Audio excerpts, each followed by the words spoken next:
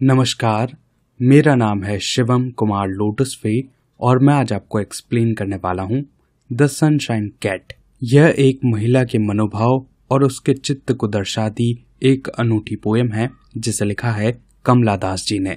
इस पोयम का tone autobiographical है, यानी जब हम इस कविता को पढ़ते हैं तो ऐसा लगता है हम कमला दास जी की आत्मकथा पढ़ रहे हैं। सबसे पहले हम इस लेसन के टाइटल के बारे में जानेंगे।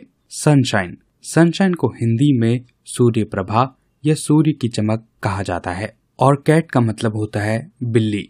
तो इस लेसन के टाइटल का मीनिंग होगा सूर्य प्रभा बिल्ली, या फिर सूर्य के चमक के समान बिल्ली। अब हम चलते हैं नेक्स्ट स्लाइड पर, जहाँ पर मैं आपको ये पोएम बेहद सरल व आसान शब्दों में एक्सप्लेन करूँगा। टेक्स्ट रीड करने से पहले हम कुछ डिफ़िकल्ट वर्ड देखेंगे। रूथलेस का मतलब होता है निर्दयी या फिर बेदर्द। और सिनिक शब्द का मतलब होता है निंदक। They did this to her उन्होंने उसके साथ ऐसा किया। कमला दास जी पहली लाइन में किन्हीं लोगों के बारे में बात कर रही हैं। वे कहती हैं कि उन लोगों ने, ये लोग कौन हैं?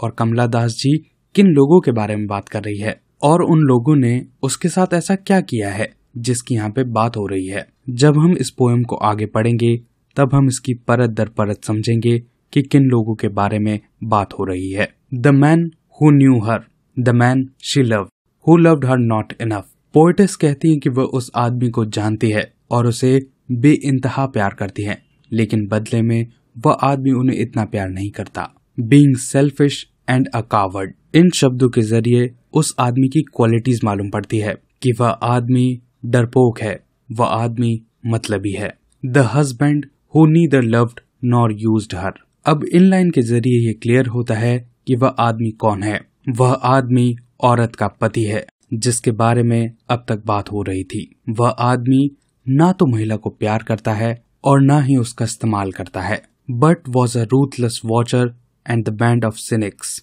वह आदमी बस बेदर्द व्यक्ति की तरह उसे देखता रहता है और पोइटिस उसे बैंड ऑफ़ सिनिक्स कहती है। सिनिक्स का मतलब होता है निंदक व्यक्ति।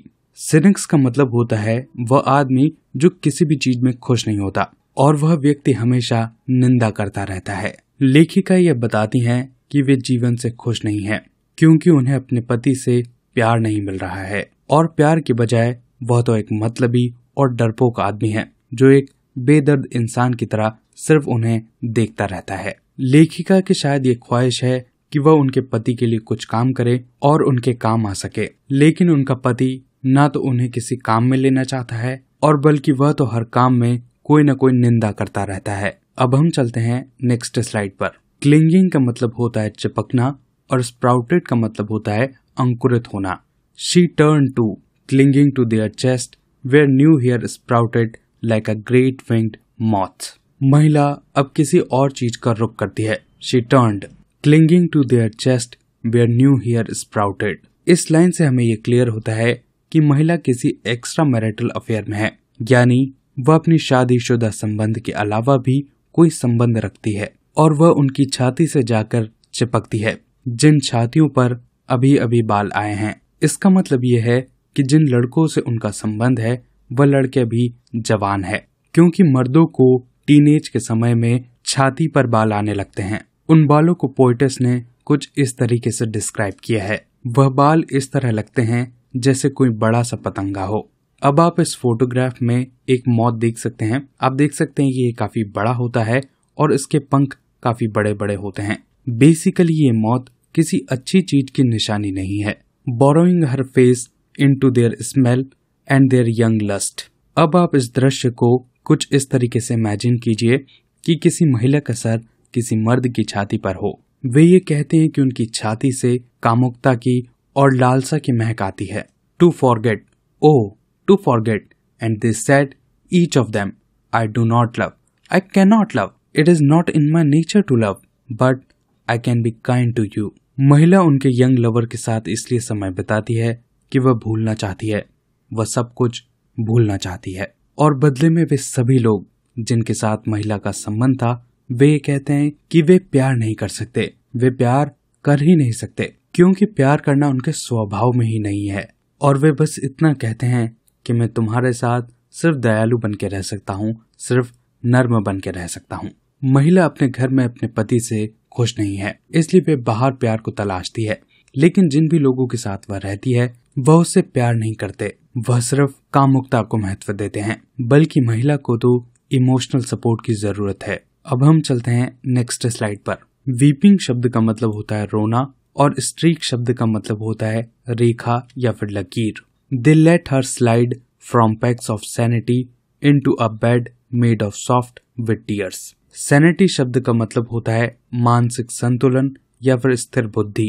पोइटिस इस लाइन में ये कहती है कि महिला ने जिन भी लोगों से प्रेम किया, उन लोगों ने उसे स्टेबल यानी कि स्थिर नहीं होने दिया और वह हमेशा स्लाइड यानी कि फिसलती रही। अगर आप एक हेल्दी लाइफस्टाइल चाहते हैं तो आपका स्थिर होना ज़रूरी है। लेकिन पोइटस ये कहती है कि वह महिला कभी भी स्थिर नहीं हो पाई और बार बार लोग उसे आंसुओं से बने बिस्तर पर खींच लेते। And she lay there weeping for sleep had lost its use वह बस बिस्तर पर रोती रहती, क्योंकि उसकी नींद खो चुकी थी और वह निष्काम हो चुकी थी। I shall build walls with tears she said walls to shut me in महिला कहती है कि वह आंसुओं की एक दीवार बनाकर उसमें खुद को बंद कर लेना चाहती है। क्योंकि जब आप बाहरी दुनिया से बहुत परेशान हो जाते हैं, तब आप अपने अंदर कोई सॉल्यूशन ढूंढते हैं और इसलिए आप दुनिया से खुद को काट लेना चाहते हैं और खुद को अलग कर देना चाहते हैं। Her husband shut her in every morning locked her in a room of books with a streak of sunshine line near the door हर सुबह उनका पति उन्हें एक लाइब्रेरी में बंद करके जाता है। रूम ऑफ़ बुक्स का मतलब है लाइब्रेरी रूम में बंद करके जाने का यहाँ पर लिटरल मतलब नहीं है।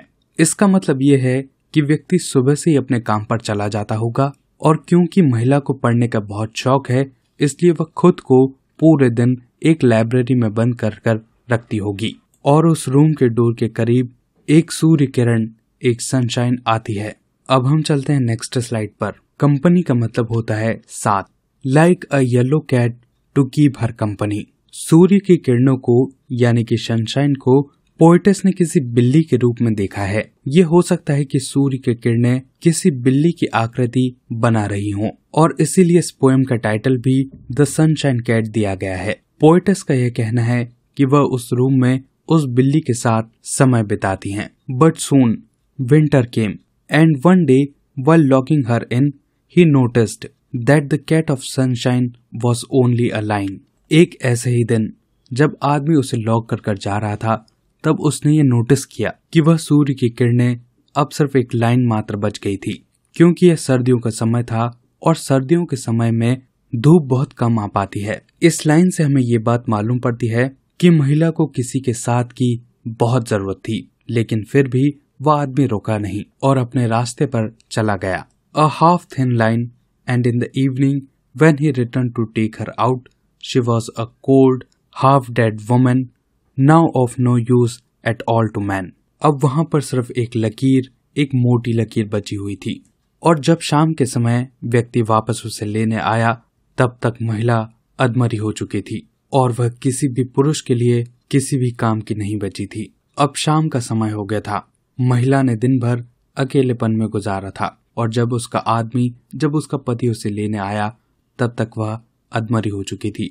यानी वह किसी वेजिटेबल स्टेट में चली गई थी। यानी कि वह अपने आसपास की चीज़ों से बेखबर हो चुकी थी और वह किसी भी पुरुष के लिए कोई भी इस्तेमाल की नहीं थी, क्योंकि उसके अंदर कोई भी सेक्सुअल डिज़ायर नहीं बचा था। दोस्तों, ये था पूरी पोएम का एक्सप्लेनेशन आशा करता हूँ आपको ये पोएम आसानी से समझ में आई होगी। अगर ये वीडियो अच्छा लगा हो तो प्लीज़ इसे लाइक कीजिए। अगर आप चैनल पर नए हैं तो प्लीज़ इसे सब्सक्राइब कीजिए। अपने आसपास सफ़ाई बनाए रखें और एक पेड़ ज़रूर लगाएँ। आप सभी का बहुत बहुत धन्यवाद।